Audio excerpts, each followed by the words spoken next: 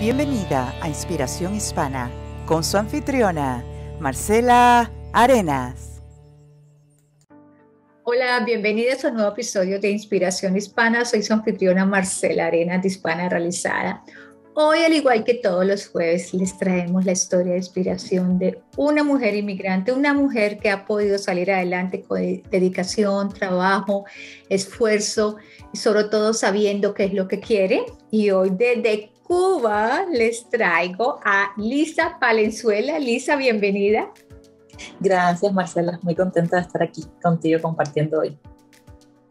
Lisa, ¿cuál fue el motivo definitivo que te hizo salir de la hermosa isla de Cuba hacia los Estados Unidos?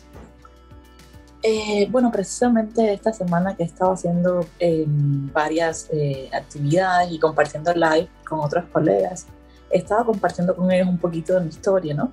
Y eh, como te había comentado, yo en Cuba me gradué de la universidad en licenciatura en economía y estuve eh, como profesora en la universidad casi, exactamente creo que sí, fueron siete años, eh, después del, 2000, del 2008, 2009 hasta el 2015.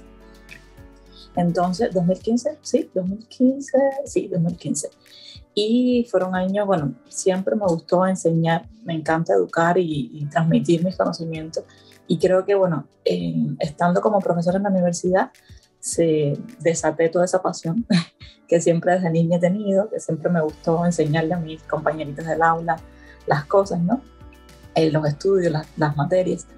Pero en Cuba, en el año 2011, hubo una apertura un poquito económica para el sector privado. Y en ese sentido, yo eh, y mi familia nos aventuramos un poco en el camino del emprendimiento y pudimos eh, tener un espacio en una feria, nosotros le decimos feria en Cuba, a un espacio grande que está diseñado para que muchos vendors, muchos comerciantes puedan llevar ahí y montar como en un canopy, ¿no? Eh, sus artículos, ¿no? Sus artículos, diferentes tipos de artículos. Entonces nosotros teníamos eh, muchos artículos de piel, eh, de accesorios, ya sean bolsas para mujer, eh, cintos, para hombres, por ejemplo, también muchos accesorios de piel, ¿no? En general. wallets, las billeteras, ¿no? Que nosotros le decimos para los hombres. Un, un grupo importante de accesorios de piel que importábamos desde México, Centroamérica, Panamá, Ecuador también, y, buenísimo, o sea, fue una oportunidad increíble porque se dejaba en un corto tiempo poder tú hacer las licencias y todo, y en menos de un mes ya podías estar emprendiendo, ¿no? Fue un momento de apertura importante en el país. Creció muchísimo esta red de, de comercio de muchos cubanos que entraban a la isla, muchos productos de mejor calidad, vamos a decir así, de diferentes países. Y como en Cuba, el, el sector empresarial fundamentalmente es del gobierno, es público, no privado, se vio un fenómeno de competencia realmente entre estos, estos comerciantes y las ofertas de productos que el gobierno brinda a través de sus empresas, su red de comercio, ¿no? Pero del Estado. Entonces, bueno, no duró mucho, tristemente, eh, porque en Cuba hay un, hay un sistema eh, socialista, que la economía es totalmente centralizada, y entonces no hay una voluntad política realmente en el, en el, en el país de potenciar fuertemente el sector privado. Y cuando empieza un poquito a crecer, como que eh, sencillamente lanzan una nueva, una nueva política, una nueva ley y cierran todo. Y efectivamente así fue, tristemente. Yo disfruté mucho desde el 2013 hasta el 2014, finales del, 2000, de, finales del 2014. No, te miento, finales de 2013, porque ya la medida fue a principios del 2014, ya cerraron esa, eliminaron que tú pudieras ejercer esa actividad comercial como sector privado y ya tenías que en menos de un mes dejar de ejercer tu, tu negocio. Entonces fue una decisión muy grande para mí porque en ese tiempo yo pude combinar mis dos pasiones. Pude precisamente seguir dando clases en la universidad que me encanta, porque tengo, eh, como profesor tenemos horario libre y tú puedes dar clases, enseñar y además puedes tener otros negocios, otras actividades, ¿no? Y yo entonces tenía mi propio negocio. Y en esos dos, casi tres años que pude ser emprendedor en Cuba, eh, tuve la oportunidad de dar empleo a mi familia, amistades, ver crecer mi negocio. O sea, tenía muchos proyectos y estaba creciendo. Entonces, en el momento en que tú pasas ese primer año, que es el más difícil siempre para cualquier emprendimiento, y ya empiezan a pensar más en grande, entonces, bueno, vino esta medida que no solamente tronchó mis, mis sueños empresariales en Cuba, sino la de muchos cubanos también, ¿no? Y en mi caso, como que ese fue el, el detonante más grande, porque ahí me di cuenta que no podía realizarme, no podía realizarme en Cuba, estando en Cuba. O sea, ya me di cuenta que además de dar clases y enseñar, quería tener mi propio negocio, ¿no? Y, y, estar en un país donde se respetaran más las políticas, se respetaran más al, al, empresariado privado, ¿no? Y bueno, nada, entonces en ese momento eh, mi esposo y yo tuvimos oportunidades de salir del país por temas también laborales, invitaciones que tuvimos, y nada, eh, eh, rapidísimo pudimos viajar aquí a los Estados Unidos por mediación de trabajo. A mí no habían, eh, yo participaba en un evento internacional aquí de, de economistas, de gente que estudia temas sociales y económicos, ¿no? Y entonces pude venir. Y como recibí mi visa y todo, y, y todo el papeleo ¿no? correspondiente para poder entrar al país legalmente, por esa invitación que tuve, y mi esposo casualmente también pudo hacerlo en unos meses, bueno, los dos decidimos que entonces nos íbamos a quedar aquí porque queríamos hacer nuestro futuro aquí, en los Estados Unidos. ¡Wow! ¡Qué historia! Qué pesar que en tu país se cerró esa oportunidad de, de dejar a otros emprender. Qué pesar, qué tristeza. Sí, porque mira, sacó a una gran empresaria de Cuba y ahora está aquí aprovechando todo lo que este país tiene para emprender.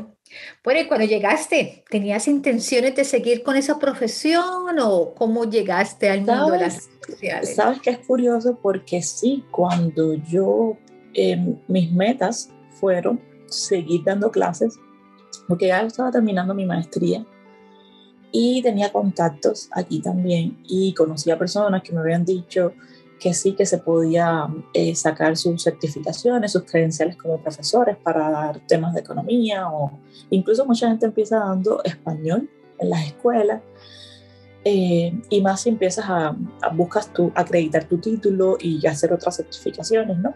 Pero eso es un proceso que lo puedes hacer en menos de un año y puedes empezar a, a seguir dando clases, ¿no? Aunque no sea a nivel universitario, pero sí a nivel high school, y uno puede seguir obviamente superándose. Entonces cuando llegué aquí como que tenía ese chip todavía de la academia porque no conocía en la práctica, ¿no? Cómo funcionaba todo para poder emprender y las facilidades, obviamente. Uno sabe que aquí todos podemos realizar nuestros sueños, pero bueno, en la práctica no tenía la más mínima idea de cómo se podía hacer eso, ¿no? Y entonces, bueno, esa, eh, yo llegué aquí con ese chip y, y, y nada, como todo, como todos cuando llegamos aquí, en el proceso en el que yo y mi esposo tuvimos que esperar a, a tener, eh, poder calificar para la residencia, obtener permisos de trabajo y todo, estuvimos trabajando en un restaurante de un amigo de nosotros, precisamente en la Florida, porque nuestra familia también está, bueno, sabes que muchos cubanos están en la Florida, sobre todo en Miami.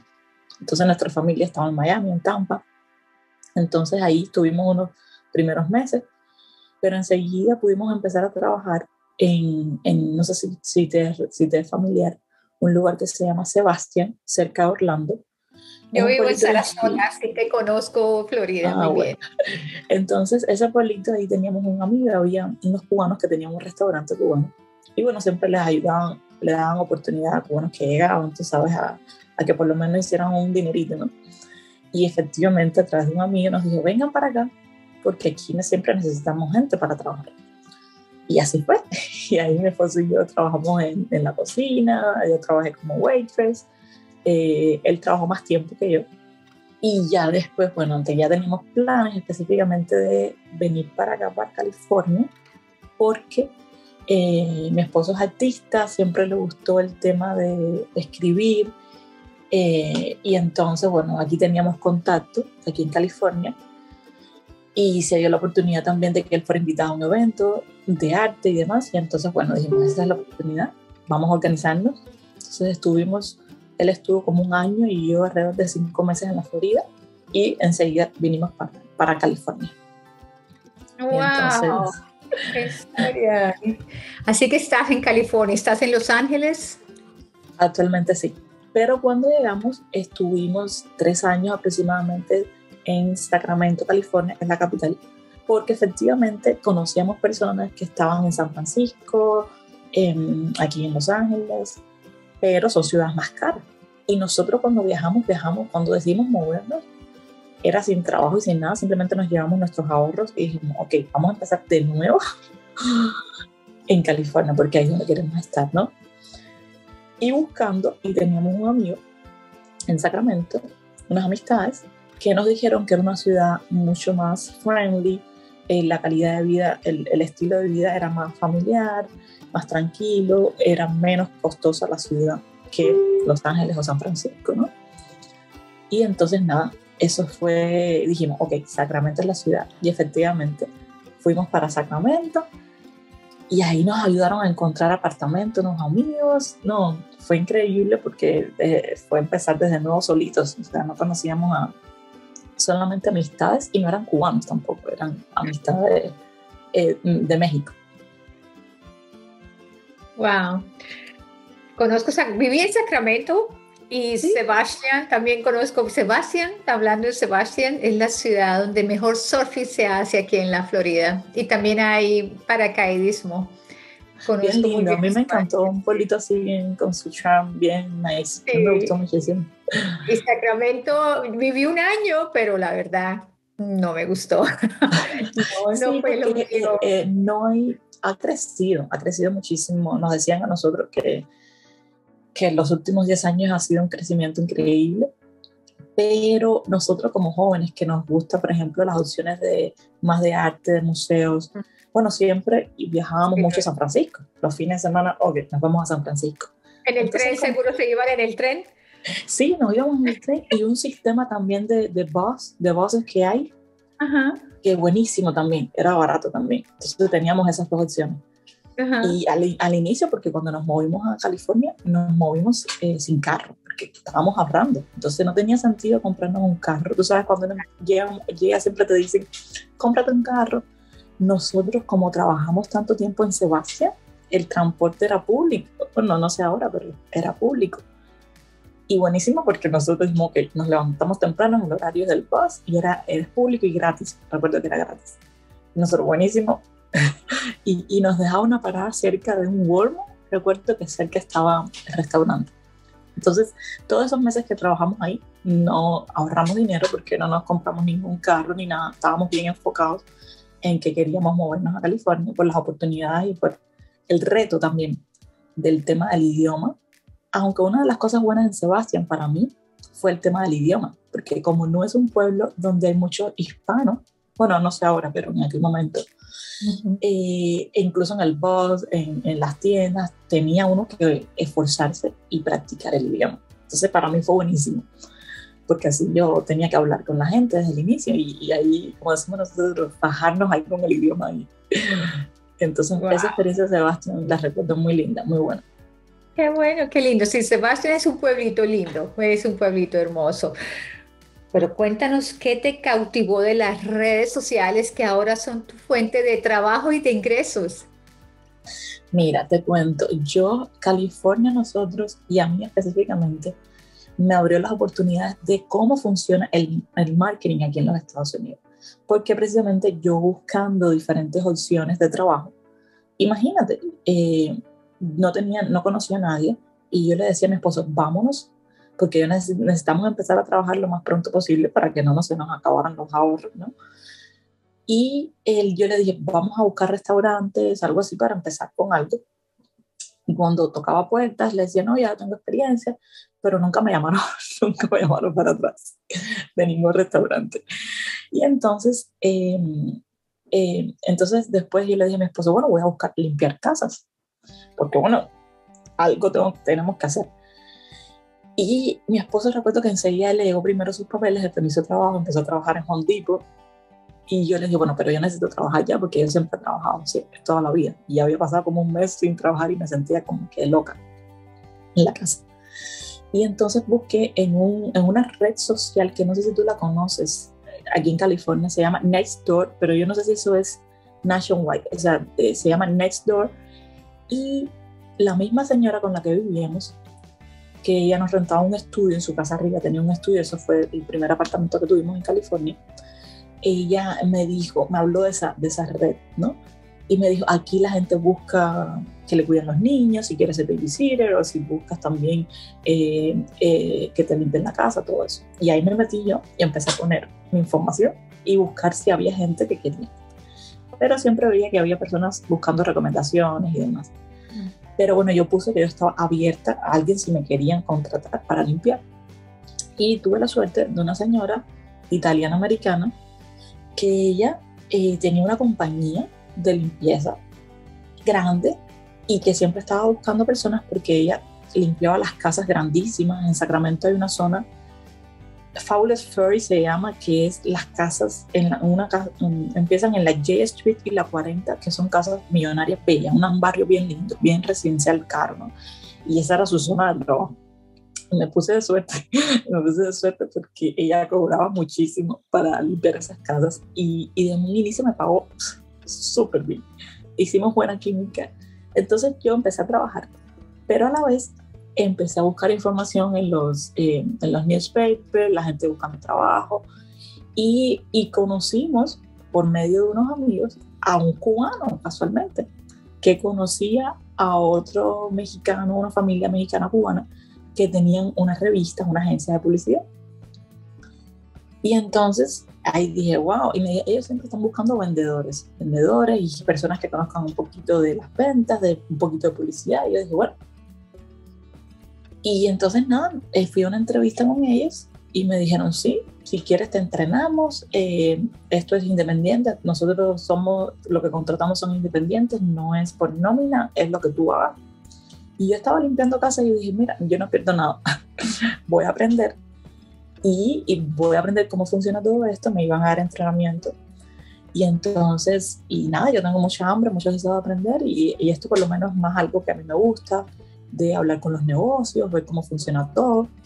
Y efectivamente, me acuerdo que empecé desde, desde enero, desde el 2016, empecé a trabajar en la publicidad y eso fue todo un cambio de chip igual de mentalidad, de cómo funciona toda la publicidad, ellos estaban conectados bien con, con los medios, la radio, la televisión.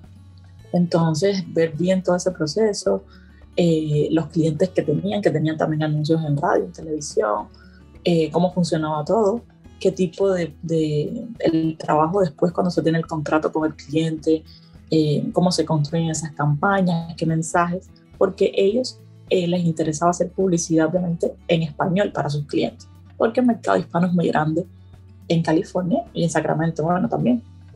Y así empezó todo. Así empezó todo mi proceso de aprender. Y empiezo como freelance, como independiente. hasta la actualidad, yo tengo clientes todavía que están con esa agencia, pero que están porque son los clientes conmigo desde los inicios.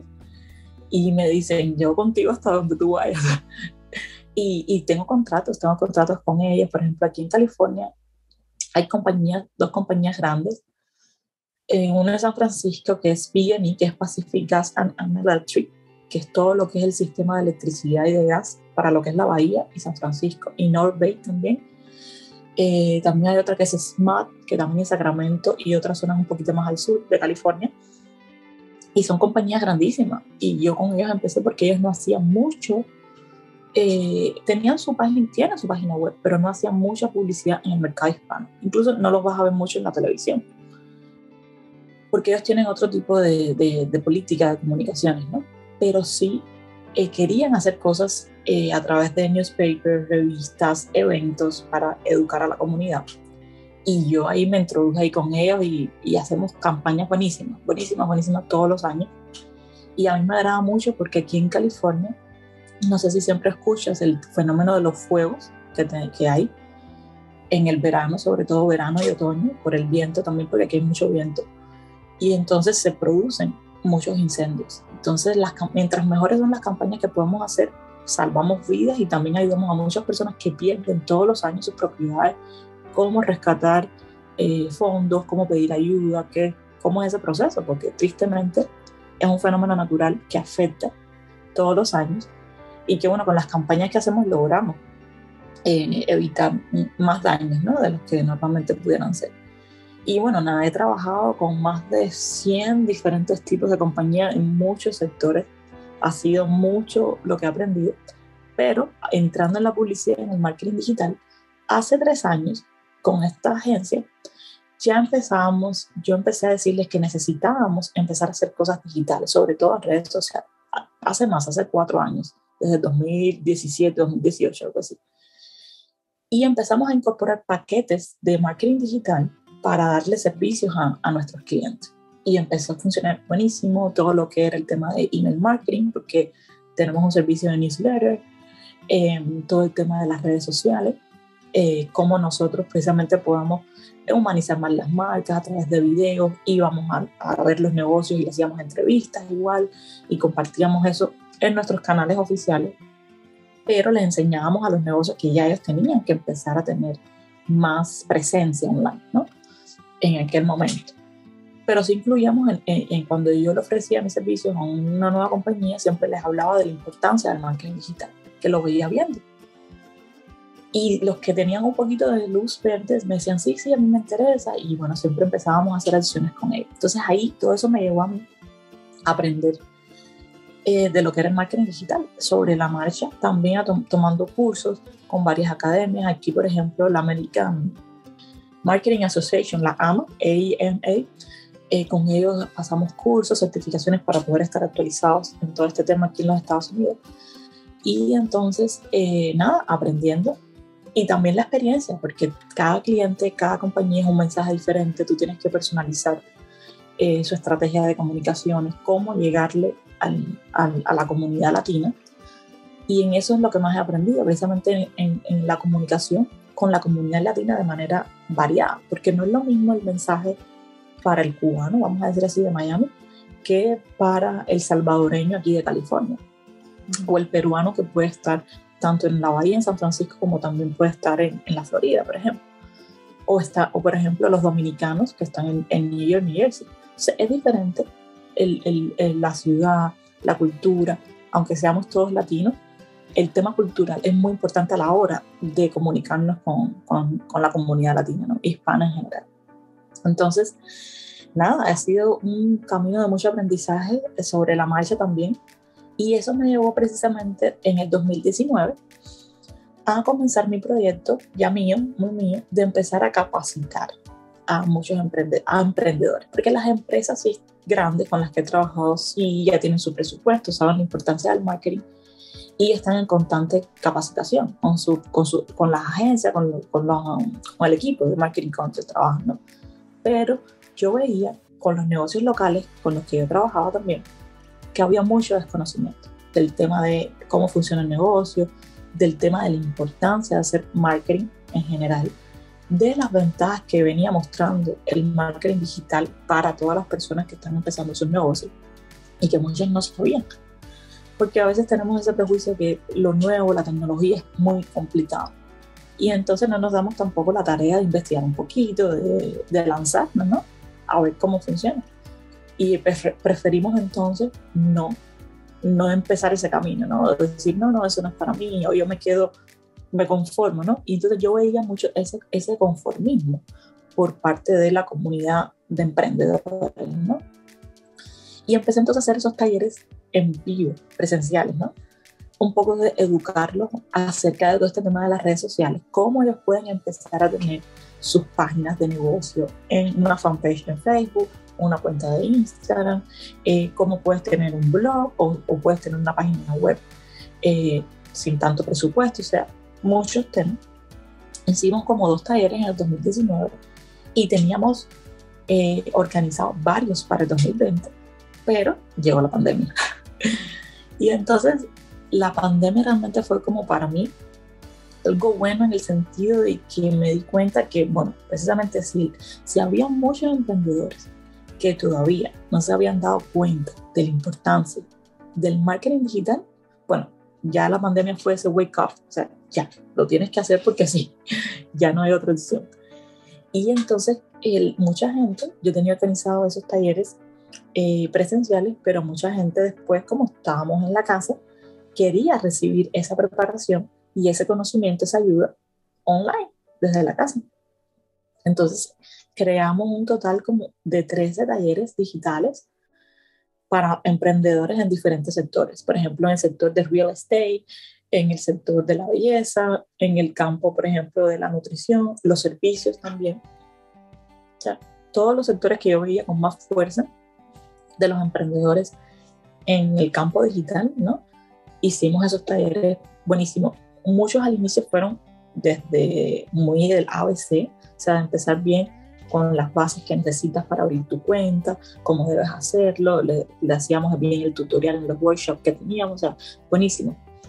Y, y el resultado de esos talleres que mucha gente quería entonces ya trabajar conmigo, o sea, que yo los ayudara precisamente eh, ya un trabajo más personalizado, más uno a uno con ellos, eh, cómo crear obviamente, cómo hacer su descripción, cómo hacer toda esa, eh, el CEO, o sea que tienes que tener las palabras claves para poner, para que te encuentren los buscadores, ya la parte más profesional, que a veces obviamente no, no saben.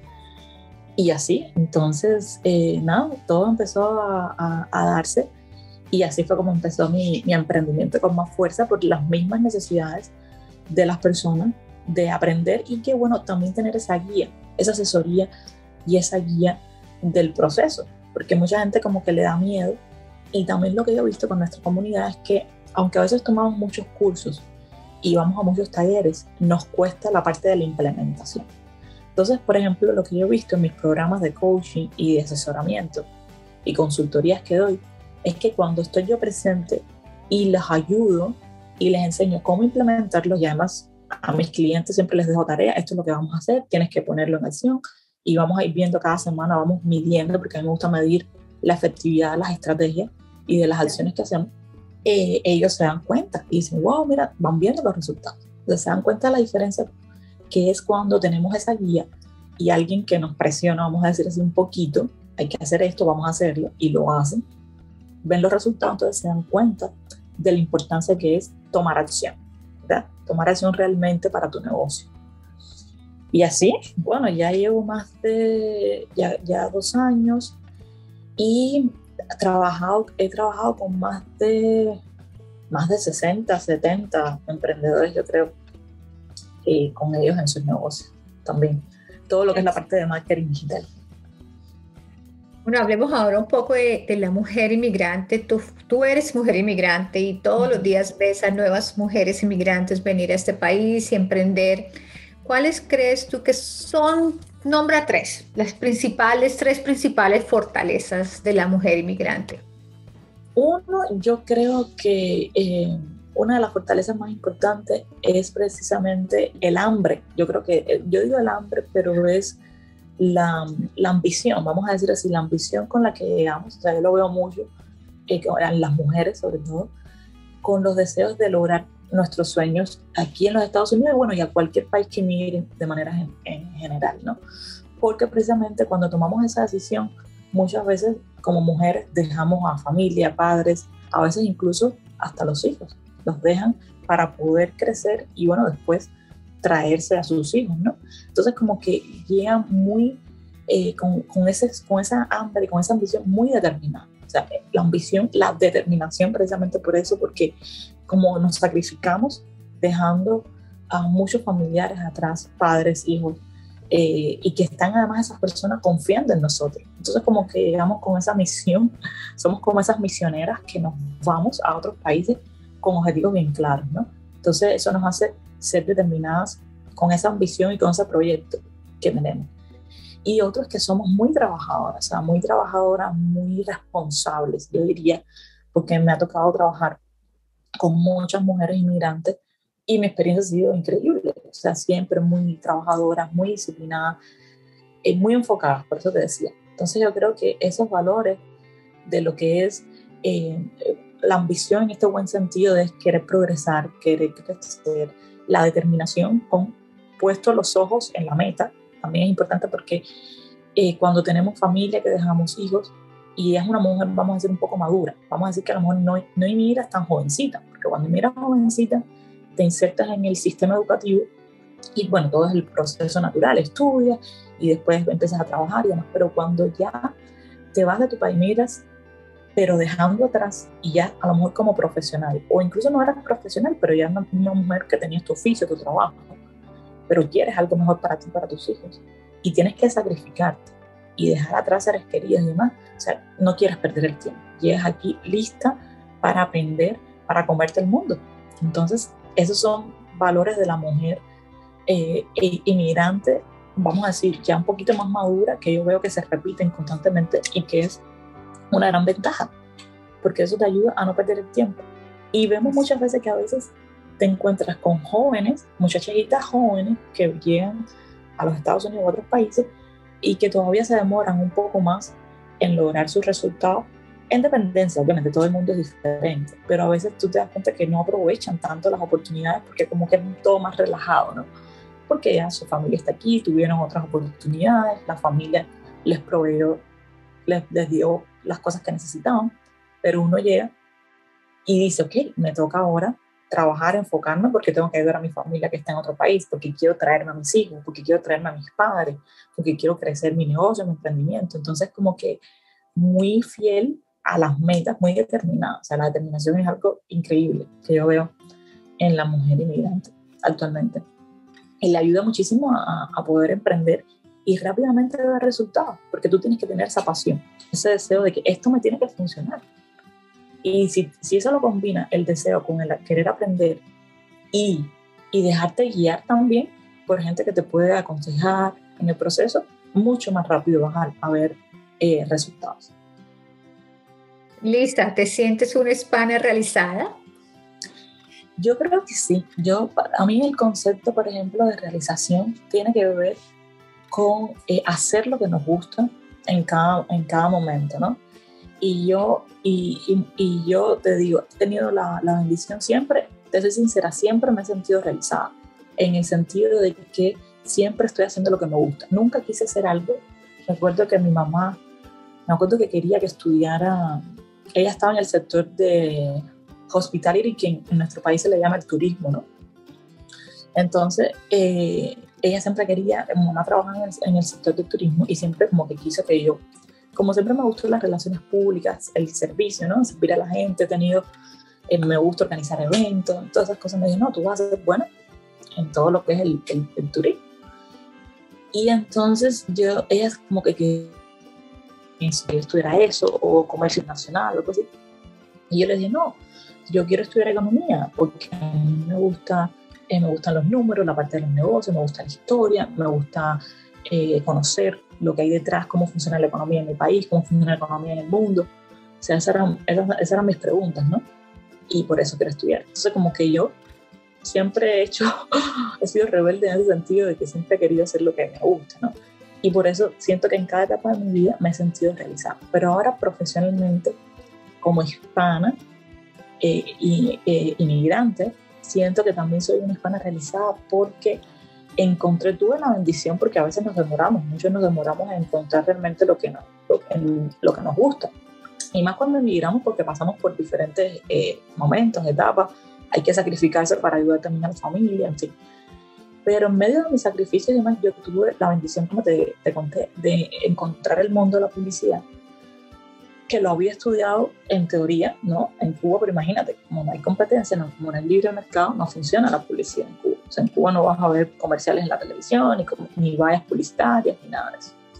Entonces, en la práctica, como que no existe en Cuba, pero aquí fue como que, wow, esto me encanta, porque me encanta que los negocios sepan transmitir realmente lo mejor de ellos. Y lo mejor de ellos es la publicidad el marketing, yo siempre el otro día lo estaba diciendo, es el arte del sentido común, porque a través del, del, del mercadeo, del marketing, nosotros, como marcas, como proveedores de productos y servicios, conectamos con ese público objetivo que tenemos, ¿no? Y cómo mejor conectamos con ellos, conociéndolos mejor, sabiendo cuáles son sus gustos, sus necesidades. Entonces, ese es el arte, o sea, mientras mejor tú conozcas a esas personas a las que tú quieres ayudar y transformar su vida, a través de productos o a través de servicios, es mejor. Vas a conectar mejor con ellos. Y eso se hace a través de un buen marketing.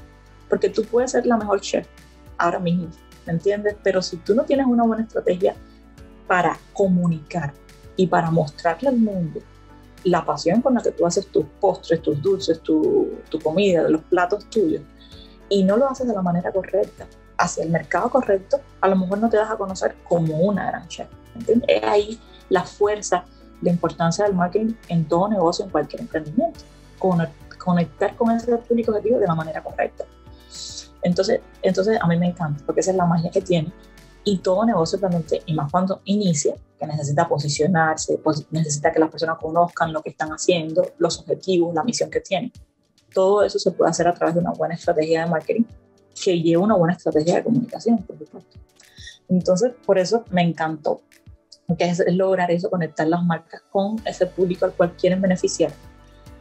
Y, y sobre todo también eso ayuda a que los propios negocios crezcan, porque si tú lo haces de la manera correcta y verdaderamente tú tienes un buen producto, un buen servicio, tú vas a crecer, porque vas a tener cada vez más demanda, que la gente se siente satisfecha, va a seguir conectada con tu producto o servicio, te va a recomendar, o sea, va a ser increíble y tu negocio va a seguir creciendo, ¿verdad?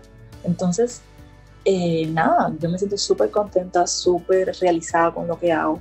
Todos los días aprendo, me encanta estar, o sea, en una profesión en la que todos los días tengo que aprender porque tengo nuevos clientes. Oh my God, que, discúlpame, creo que llegó el jardinero. No, no, vamos a, tranquila. Una pregunta más y ya terminamos. ¿Cuál es tu mantra o lema de vida, Lisa? Mira, precisamente mi mantra o lema de vida es, eh, en la acción está la evolución. Yo siempre soy, yo soy muy dinámica, pero creo mucho en que podemos estudiar todo lo que querramos, pero si nunca esa, eso que aprendemos lo empleamos, va a ser muy difícil realmente que aprendamos bien o que veamos resultados de lo que estamos aprendiendo. Y, y eso aplica para todo en la vida o sea, tú puedes ir a terapias de pareja, tú puedes recibir la ayuda, cualquier ayuda, pero si tú no pones en práctica esa ayuda, esos consejos, esas técnicas, en mi caso, esas estrategias de marketing o ventas, no vas a ver los resultados. Entonces, por eso es que digo que en la, en la acción está la evolución. Cada vez que tomamos acción, vamos creciendo y así sucesivamente. Entonces, esa es la clave para todo en la vida y para los negocios, por supuesto, también. Buenísimo. Bueno, regálanos tus redes. ¿Cómo te podemos encontrar, por favor?